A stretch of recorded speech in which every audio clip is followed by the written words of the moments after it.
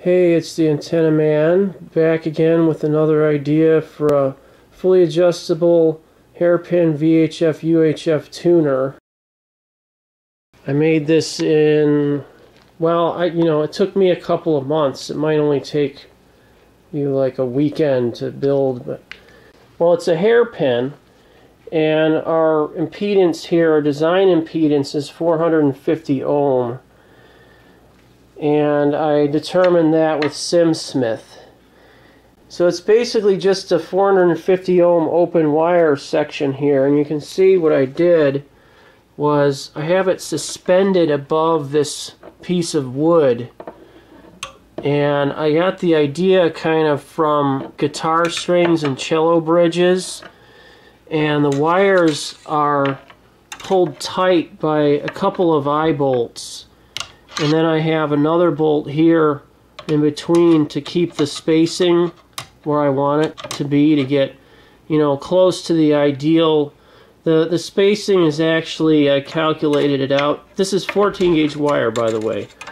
I calculated it out to be 2.668 yeah 2.68 millimeters uh, no centimeters spacing, and that should give about 450 ohm. The exact number isn't really important. So then all I do is just hook up my antenna wire right here and just pretend that goes to an antenna.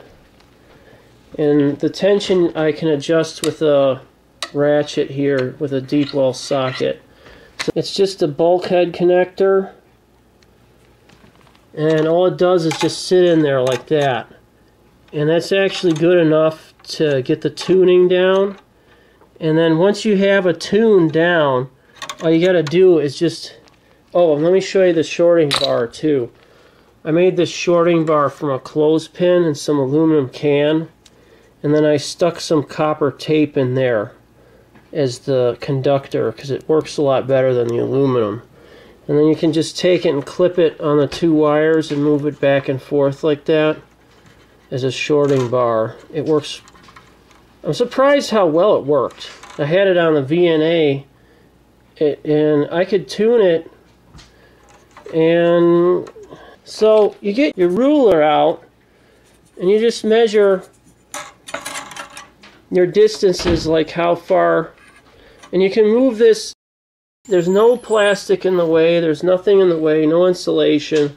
So it's not like open wire line where you have plastic that where you know can't strip it all down and then it's all floppy and stuff. This holds everything tight. And then you got the um, other extreme, which is like a J-pole antenna where the matching network is a pipe and you can't do anything because everything is just fixed in position. So plus your your impedance is by default very low because your your conductor is a pipe and it's pretty, you know, good diameter. So they're so close together that the impedance is something like, I don't know, 100 ohms or something. So this, this way with the 14 gauge wire, and I, you know, 14 gauge turns out to be about the right size, you can just stretch it between the two points and you can see I have it like, I notched the wood out here and it's just kind of like, it's looped underneath you can't really see it, but it's all one piece of wire. It just goes down back here and loops around and comes back. So there's nothing preventing you from attaching a point anywhere along the length of this wire. And that way you can dial in your tune.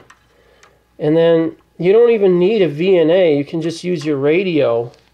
And you can tune for the, the lowest SWR. And when you find it, like you, you don't even need uh, just the, the SWR meter in your radio is all you need. And you just use this for temporarily, but you're not going to get a whole lot of power through this little point contact here. It isn't going to like it. But if you want to design a actual matching network, then all you need to do is just take your ruler here and measure it, and then you enter the measurement into um, into SimSmith, and then you know exactly what your impedance was and exactly what components you need or how you know how big to build your final hairpin match if you're building a hairpin. It's perfect. So at least that's the idea anyway. So this will do two meter band. It'll probably do 70 centimeter band pretty well they're close enough together yet that it shouldn't radiate that much uh, but as you go higher in frequency, of course, there's, you know, there's always a chance the wires might radiate.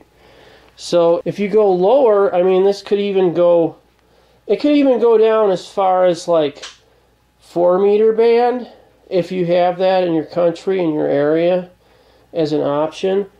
But see, as it goes lower, then the length of this becomes an issue because it might not be long enough for you. See? But at 2 meter, this is about ideal, and you can match a pretty wide range of different antenna impedances with this. Uh, I was matching a an end-fed wire with this, and that's got a pretty high impedance, so it works really well. I was surprised, and I only need I didn't even need that much. I only needed maybe like about that much, and it was already in tune. And then the the cable from the, the VNA was right about like here or something. I forget exactly where it was, but if, if this isn't pulling like it is right here, it'll just stay. See if I can get it to do it.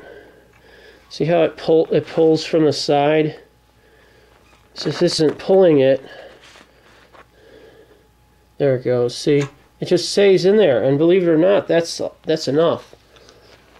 But see, I wouldn't I wouldn't try to put any kind of power through that because you know if this slips, there goes your finals. But you know, it seems to work and maybe you won't build this exact thing, but uh, I thought it was pretty good and it, and it does work.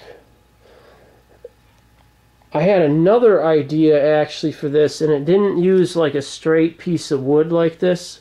You can see what I did. I kind of like took well, if you can see it, I have to. I'm going to have to move it here. I hope nothing breaks. Okay. You can see what I did to strengthen this stuff, because this is like this Woodite deck board stuff. I put a couple of, um, I don't know exactly what these are, but they came from a pallet. They're really crappy wood. You don't need great wood for it. And I just screwed them in to the, I mean, I screwed the deck board into them for strength because otherwise, you know, it would have a tendency to flex because the wire is pulling it constantly. And I put in screws. I didn't want to put in screws because they're metal, but I put in screws anyway because there was nothing else. I had no other option. This stuff won't hold glue, so I just put in as few as I could, as short as I could short as I thought I could get away with. You have to attach the wire here because this is where the copper ends. But see, there's a connection here to the um, to the eye bolt. So the eye bolt is part of the circuit. And there's a capacitance here. And these two eye bolts are not connected.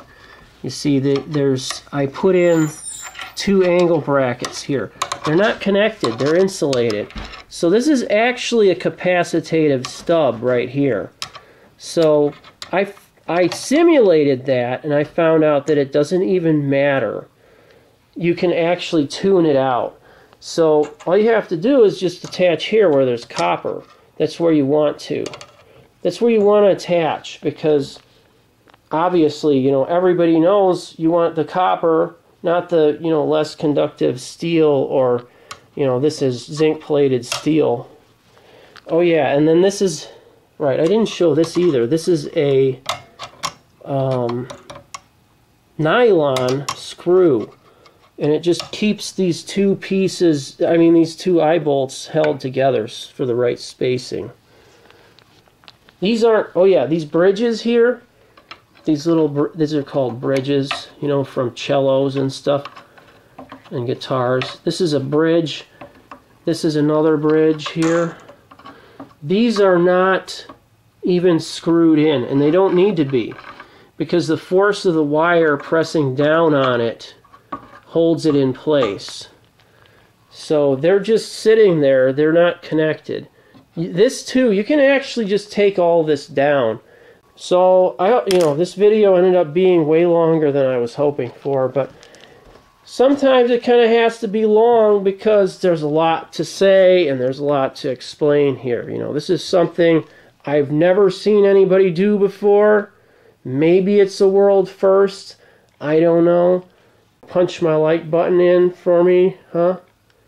Okay, got it? Okay, bye.